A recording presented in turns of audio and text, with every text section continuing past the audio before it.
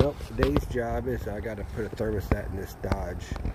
Um, if you've seen my videos, I actually put a cam in this one. So I'm going to put the thermostat in it because it's showing it's bad and change oil. That's what I'm working on.